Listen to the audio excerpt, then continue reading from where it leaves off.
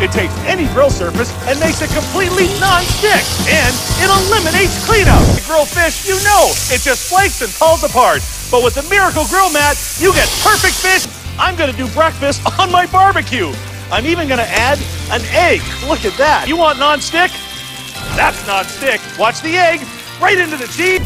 Flare-ups can ruin your meat. But with the Miracle Grill Mat, there's never any flare-up. Everybody loves thick, juicy restaurant quality steak. Burnt on sauces and marinades make for a cleaning nightmare. But check this out.